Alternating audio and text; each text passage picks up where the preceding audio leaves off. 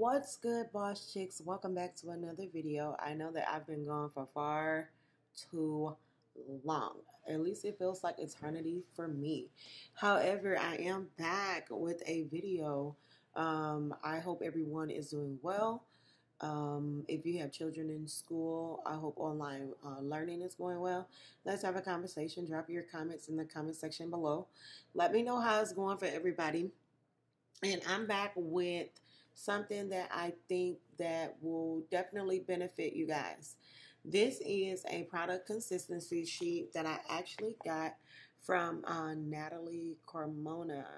Um, Get Nail 32 is her social links on Instagram as well as on YouTube as well. And I'm trying to hold this so that my um, ring light don't really reflect on it. So let's get down to business, guys. Okay, let's talk. So, um, I think most people get caught up in um, like doing nails. They want to start with all the designer, beautiful designs and hop right in. But let me just tell you if you do not have the right product consistency and you don't understand this part, you have to understand this part of it. Being able to pick up the right size bead for the area of the nail that you're going to be working on and the uh, consistency of the bead, meaning it's not too runny or it's not too dry so that you will be able to work with it. You'll be able to mold it and um, come out with a great looking nail as well as not flood the cuticle if the bead is too wet or it, it be too dry and then you still can't work with that bead and getting the correct cuticle placement um, so that you can prevent lifting and so on and so forth. It all starts with your product consistency. I will leave this information in the description box below um, so that you guys can download this as well. She has it like on her Google Drive. And every now and again, I, you, I'll do my nails and things like that, but I still come back to the basis, uh, the basics, which is this product consistency sheet. I'll get this out. There was one for Tammy Taylor, but it's not available anymore. So Natali has done us all the favor of being able to still be able to access this, and she created her own, own with the inspiration of Tammy Taylor. So going back though, so we're gonna practice picking up beats. Like I say, you sometimes um, there's so much that goes on into designing nails. It's not just pick up a bead and work with it and put it there. There's a lot more that goes into actually building a structure of a nail. And um, sometimes, like I stop. I always come back to this because I feel like sometimes I lose my basis with the different designs, um, and I've only been doing nails consistently like for a year. So I'm still a beginner myself. So when I do have the time, I'll go back to the basics and I'll start here. So we're going to work with this. If you guys want to work along, if you want to go ahead and hit that description box and go ahead and print you out a copy. I bought these little sheet protectors from, I think I picked mine up at Walmart, but you can pick some up at your Dollar General. Um, so let's do that. So if you need to pause this video and come back and let's practice some beads, um, let's get right into it. So there is instructions at the top of the sheet that tells you how to apply your acrylic. So when applying acrylic, it is very important that you first practice your liquid to powder ratio to help with the consistency of your beads. By following these steps, you will be able to pick up a perfect large, medium, or small bead each time. First, Dip the entire body of the brush into your monomer. Wipe the brush in the dampened dish away from you. For a large bead, only wipe the tip of the brush. For a medium bead, wipe halfway. And for a small bead, wipe most of the brush off. Once you have dipped your brush and have wiped it off based on the side bead that you need, drag your brush away from you in the polymer. Next, place the uh, product on the nail, lift, and let the product flow for three to five seconds. Then gently pat the product on the nail and stroke. So there's a demonstration over here on how to dip, wipe, and drag your brush. Also, she put on here um, the actual parts of the brush.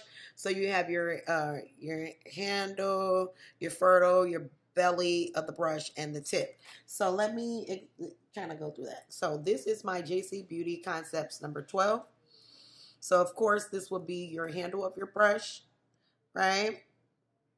This is your handle where these grips are on this JC Beauty concept. This is your ferrule, Okay. This is your belly of your brush. This this part here. And then this is the just the very tip of the brush. So that's kind of what she's explaining right there. So I'm going to be using this brush today to demonstrate picking up the large, medium, and small beads. So I have my dampen dish right here and it has um, my monomer already in it. I got this from Amazon. I can link this in the product uh, in the description box below. This is my actual brush cleaner. That is a mix of monomer and um, acetone. And then I have like my clear powder in that one. And then I have my regular monomer that's ready to go in this one. And I like keeping it in this. There are some brush holders here, but I don't put, you know, my brushes in there because you need to hang your brushes upside down on your desk. Also, you guys need to be sure that you get some really good quality paper towels that you can dry your brush off on. Um, these are the shop towels. Um, I showed you guys that in my Walmart uh, haul. In my video, I um I picked these up because I couldn't find the Viva signature. If you can find the Viva signature, that'd be great. But these do a very excellent job at absorbing the leftover monomer and the um, polymer, which is your powder from your uh, brush so that you can get a clean brush every time. Um, you don't want acrylic getting stuck in your brush. Let's talk about brush quality before we hop into this. So this is a 100% Kolinsky hair brush. Like I said, this is from the company JC Beauty Concepts in a number 12. Um, a lot of people recommend that you start off like with a number 8 or a number six, I'm going to tell you to start off with what's comfortable for you. A lot of the product consistency and working with your products is based off your comfortability and being able to feel your brush. You have to be able to feel the weight of the liquid in the brush to get that perfect bead. It all takes practice and it takes time. Don't just think, you know, you're like going to get it right away. Um, even some very seasoned nail techs still make mistakes. You know, it's just being able to, um, if you do make the mistake, learning how to correct it and so on and so forth. So in my dampen dish, I have, I don't think that's JC Beauty Concepts. Um, I think it is. I'm going to grab my, um, so what you want to do when you're working, you want to be sure that you are working with the same company's uh, monomer and polymer because that's going to help you with picking up the perfect bead. So I have the JC Beauty Concepts Cover Blush. And I also have the JC Beauty Concept Monomer. Try and make them match because um, if you're using a different um, polymer and a different monomer from two different companies, they're not going to act the same. So you're not going to really like get what the product is actually supposed to do. For example, if you are using like uh, young nails, you want to be sure that you have young nails monomer and polymer. Be sure that they match because they work together. They work together. So what I'm going to do, I'm not sure which one I have in here, but like I don't want to waste that. So what I'm going to do here Let me try and keep most of this in shot so you guys can see. I don't want to really cover up the sheet because I want you to be able to see that as well too. So I'm gonna put my I'm gonna put my paper towels off to the side there. And so let's make sure you guys can see this. So I'm gonna do this first on here on the paper towel so you guys can see. So when you first um, do your brush and you're using it for the first time today, forever whenever you get your brush and you're going to be using it. You're going to go ahead and dip your brush all the way into the monomer, okay? And I kind of like to spread out the hairs in my brush to be sure that I release all the air bubbles that are possibly trapped in the brush. So this is what you call burping your brush. You're going to um, put that all the way down in there. Now, remember, going back to the practice sheet, I'm going to move this over a little bit. going back to the practice sheet that's on here. So if you got it and you're following along, then you know that when you come up here to where it says um, for a small bead, wipe most of the brush off. Now, you're going to find different people that pick up their beads different. Some people, some people like to take their their um, brush and they like to drag.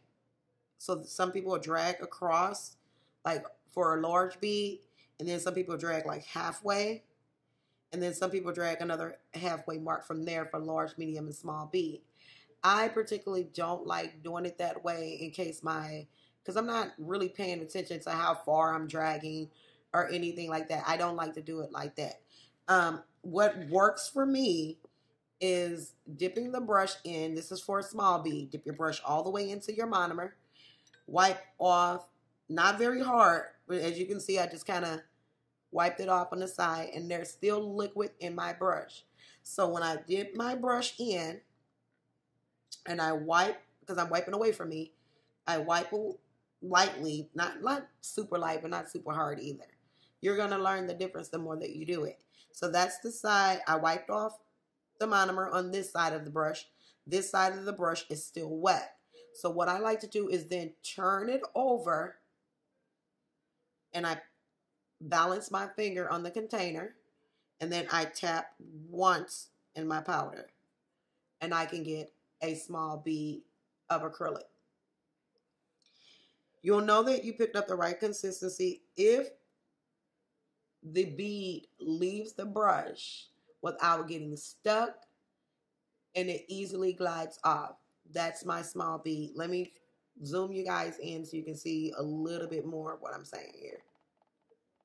So that's a small bead. And this is, it's going to be different for each size brush that you use. I'm using the number 12, so keep that in mind. So I'm going to make sure that my brush is clean. So I'm going to go ahead and wipe that off. Make sure it's all clean and ready to go for my next one. Okay. And make sure that there's no acrylic. You're going to be, I mean, no acrylic stuck in the brush. You're going to be wiping your brush off a lot. You need to know that you need to wipe your brush off a lot. You don't want acrylic stuck in your brush because then it's going to mess up the consistency of your bead as well. So now I'm going to go in for a medium bead. So now dip my brush and let me, I'm going to take this out of here so you guys can see this. I'm to dip my brush and then I'm going to wipe halfway and stop right there. Halfway for my medium bead. Yeah? So there's still liquid in the brush. I did not wipe it all off. And then I'm going to go into my polymer and I'm going to tap two times. One, two. And that's going to give me a medium bead. This is just how I like to do it because it works for me. And as you can see, it's pearly. It's ready to go. I'm going to put that one right next to that one so you guys can see it. Yeah. And the brush is clean. There's no acrylic or anything stuck on the brush. Okay. So I'm going to go ahead and I'm going to wipe that off. Make sure it's good and ready to go for my next one. I'm going to grab this again. I'm going to go in to my monomer. As you can see, see there was there was bubbles in there if you were able to catch that. Go into my monomer. And then for a large bead, you see this like dark spot on the brush. I'm just going to wipe the tip of the brush off. Yeah? Then I'm going to go into my polymer. Balance my pinky on the side of the container and then you can level out your um, your powder as well. And as you can see, I keep rotating to the wet side.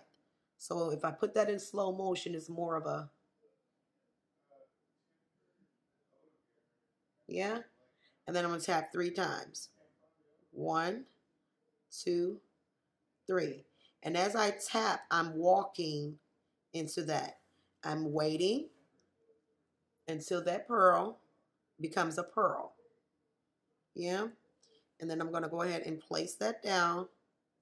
And that's my large bead. Okay. So this is the small bead.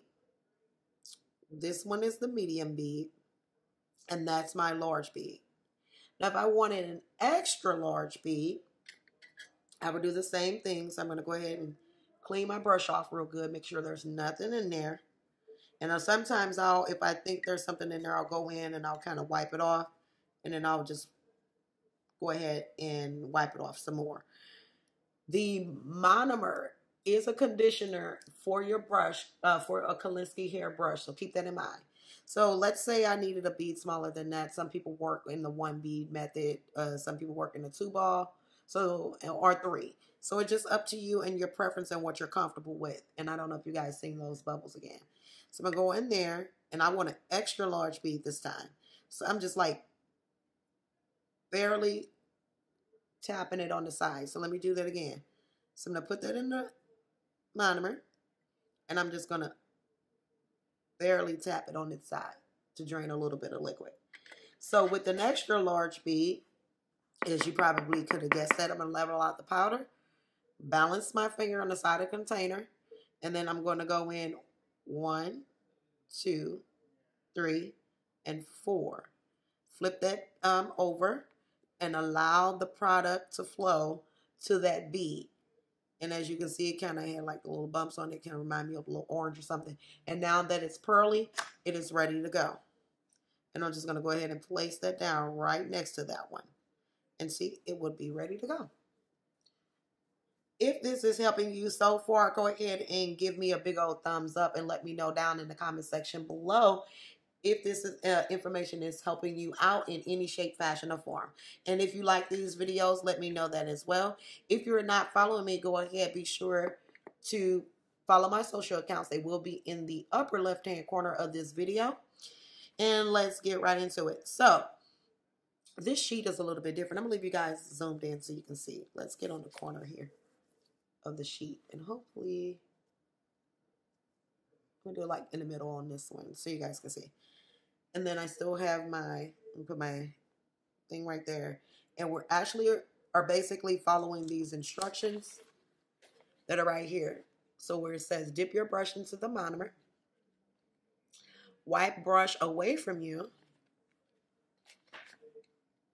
which is what I just showed you, and then drag the brush towards you across the polymer. However, I do not drag, I tap. So, so this is what I do. So if I want a small bead, I tap one time. If I want a medium bead, I tap two times and I kind of walk it just a little bit across the powder. So just like this, that's how I do it. If I want a large bead, then I go one, two, three in the powder. An extra large bead, it's four. I'll go one, two, three, four. And then always flip that brush right on up so that the um, monomer flows into the polymer or liquid to powder. The liquid flows right to the powder and a lot wait. Sometimes Sometimes, depending on the product that you're using and what company that you're using it for, you must wait. That's where you get the, after you pick up your bead and you place it down on the nail, you are allowing the product to flow from three to five seconds. And three to five seconds depends on the company that you're using. So there's some slow um, setting powders and liquids there's some medium and there's um, fast. Like if you heard of Young Nails, Young Nails has like a core, um, a speed, and like an ultimate or something like that. But it depends on you know how fast they have it. Okay, so after you um, let the product flow for three to five seconds, you're gonna go ahead and pat the product on the free edge, which will be like this. This would be the free edge. So you would pat, pat, pat, pat, pat. Once you get that into place, you want to go ahead and clean your brush and then you're going to stroke it out. Okay. And the less um, monomer that you have in your brush and you keep touching that product, the faster that product is going to um, dry. And that will be the last step that's right there. So let's go ahead. Let's do one. And then we're going to go from there. Now it's been a minute. Let me see. Let me see. I can get this right. All right. So I'm going to go ahead and dip my brush into my monomer. See those bubbles? Because I've been playing with the brush. I like to do that every time though, just to ensure that I get all the hairs wet. And then we're going to go in, it says for a small bead, so we're going to wipe our brush all the way off. Yeah.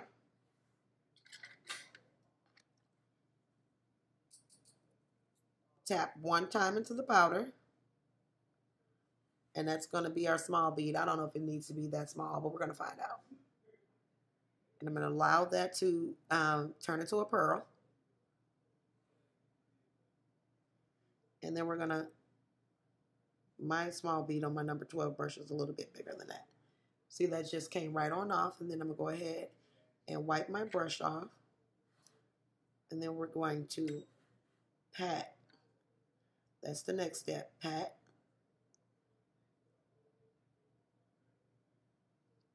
And pat that into place just like that. Okay. And then now we're going to go in for a medium bead. So, and then this will, if you keep patting this right here, it'll dry out. Like, I mean, it'll start to um, form. Okay. So we'll go ahead and wipe that off. So let's go ahead in for a medium bead. So stick the um, brush all the way in. And then we're going to wipe half of the brush. Yeah. And then come over to my powder. Get a, a sturdy hand and go one, two, two times for a medium bead. And then we're going to allow this bead to set and pearlize itself. And then we're going to place the product down clean release. And then you go ahead and wipe your brush.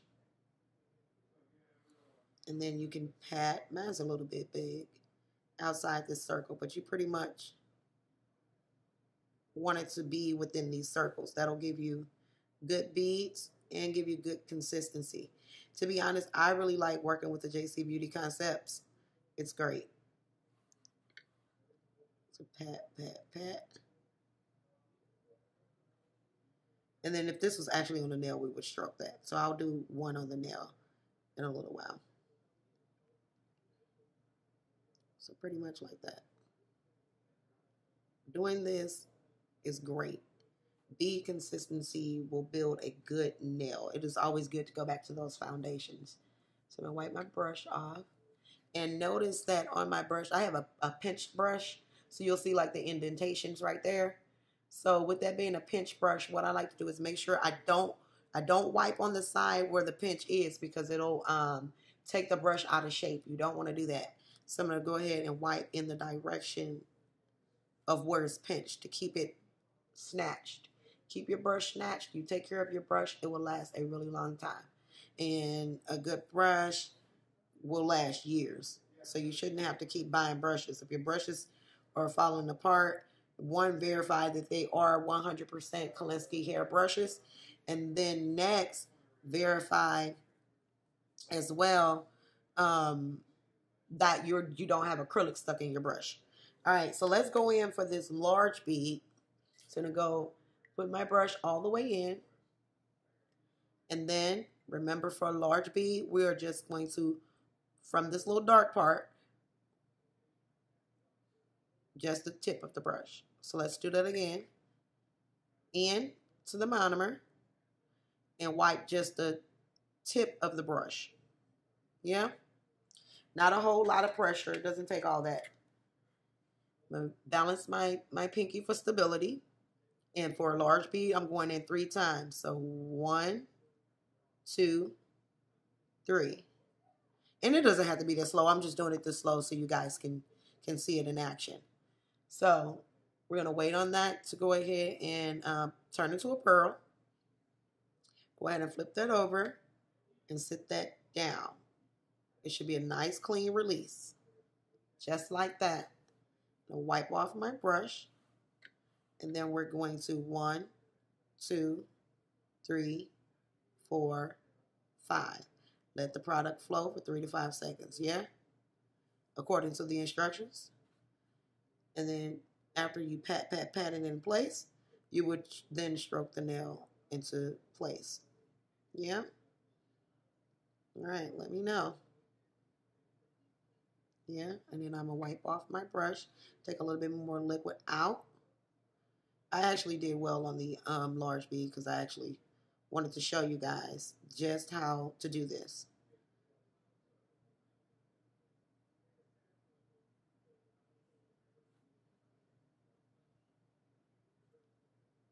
So if I had did the same thing to the medium bead, it probably would have turned out the same. Either way it goes. All right, let's go ahead and let's do one practice nail. And I'll show you guys that as well. I'm trying to make sure this light is really good. Because my light is shining on that. Anywho, all right, I'm going to put this over here so I can wipe off. I'm going to kind of cross over to wipe, but I got my dapping dish right here. So we're going to start um, with, uh, she has a number one, two, and three, and then four. So we're going to start with number one, which in this little area, if you look at this area, it only looks like that's going to be a small bead. So we're going to go with small bead all the way into the monomer. Go ahead and wipe off the entire brush. Not very hard or anything like that. So find the right pressure and feel the weight of your brush. And we only need to go in one time for a small bead, yeah? So I'm going to wait on that to pearl. So it's now that it's turned into a pearl. I'm going to go ahead and place that down in section number one. All right? Wipe off your brush. Two, three, four, five. And then we're going to pat, pat. Now that we got that in place, we're going to go ahead and stroke that out.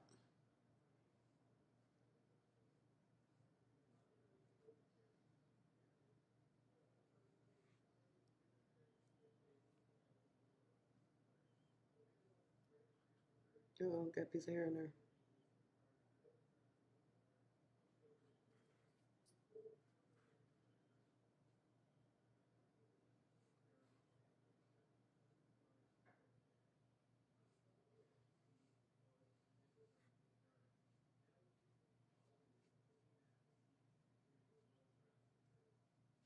Yeah. Okay.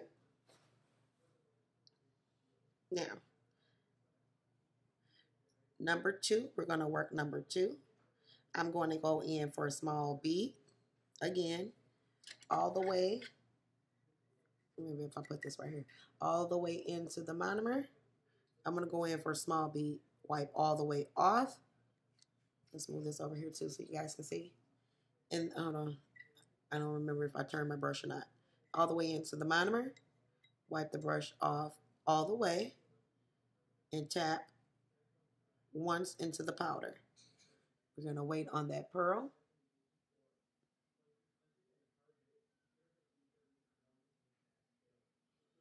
And then we're going to go ahead and place the product right there. Wipe off the brush. Two, three, four, five.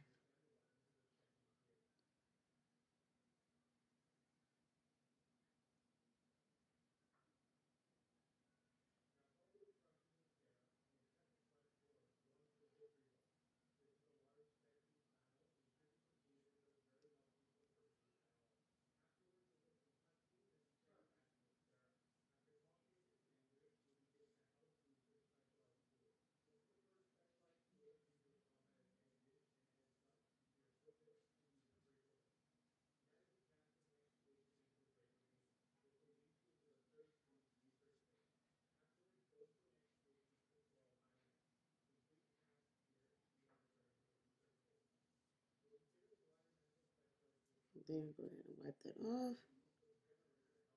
If it's the product is still too wet, be sure to dry off your brush. So wipe off your brush and then work with the tip of your brush.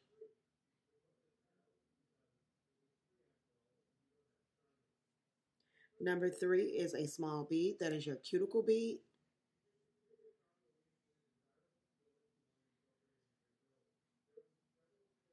So I'm not really worried about like that blend right there.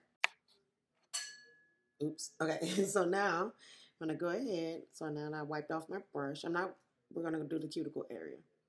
So I'm gonna go all the way into the monomer, just like that. And then I'm gonna wipe off the entire brush.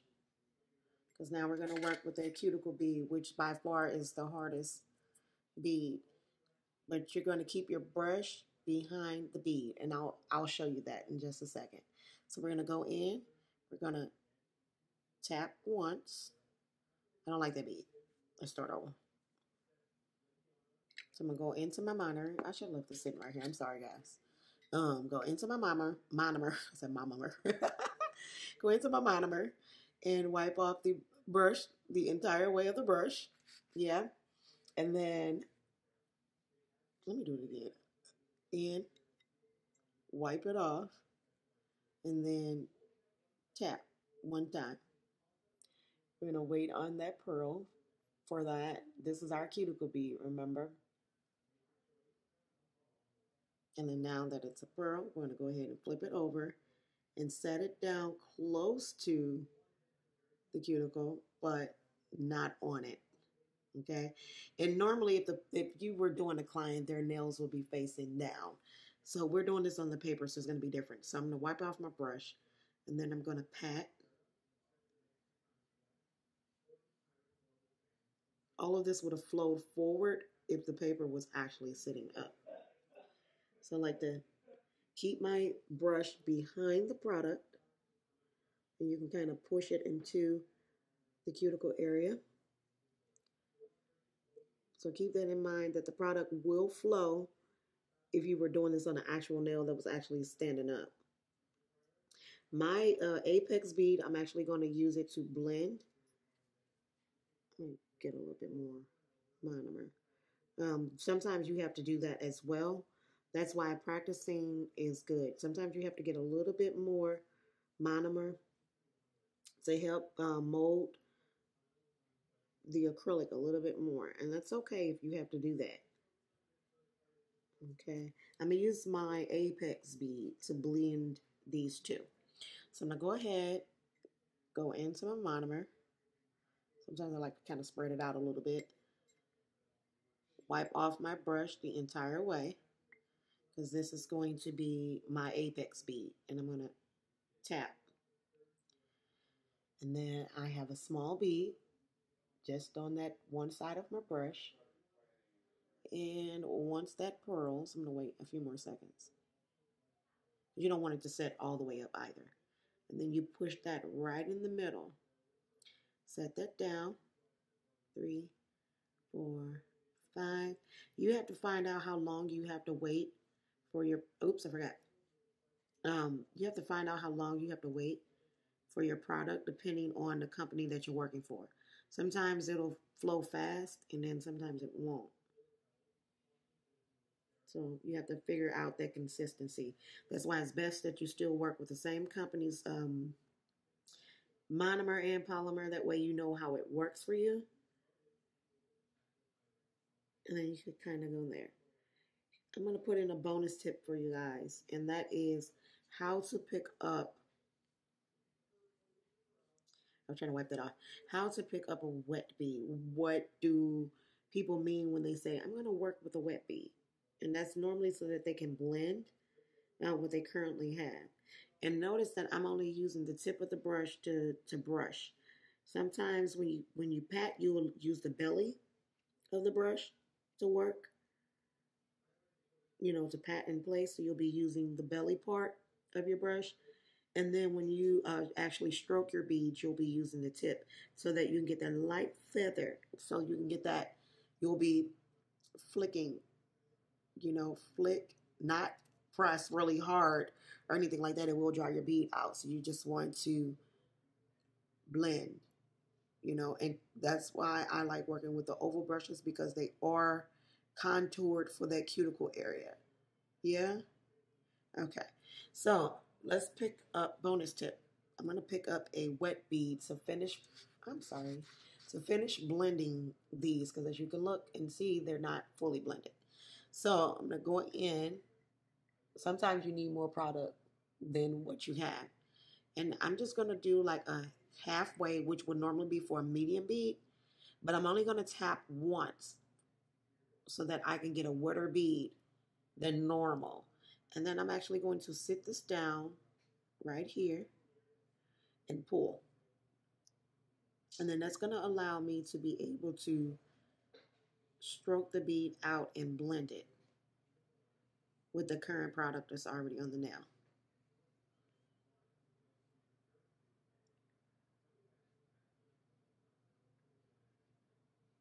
And then when you are actually doing your nails, you want to be sure that you are looking at the nail from all sides of the nail to ensure that you have the proper structure. You have your apex and that it, everything is uh, even and there's no bumps and there's no lumps. And be sure that everything's all even. So, and then I have my apex right in there so that looks really good. Sometimes you do have to clean around that cuticle area which is by far sometimes the struggle, really. The cuticle area is the struggle, honey. There. And that looks a lot better. And that's how I just ensure that there's no acrylic or anything like that stuck in my brush. All right. So, tell me what you guys think. If you like this, if you want to see more of these videos, um, let me know um, down in the comment section below. How did you like this? If there's anything else that you guys would like to see, please let me know. Don't forget to follow me on my social uh, accounts, which will be linked up in the upper left-hand corner of this video. That's going to be all for now. Don't forget to check the description box below. I will link her information for you guys to be able to practice your product consistency. If there's anything else at all, guys, don't hesitate to drop those in the comments. That's going to be all for this video. And as always, stay safe, stay healthy, and be blessed.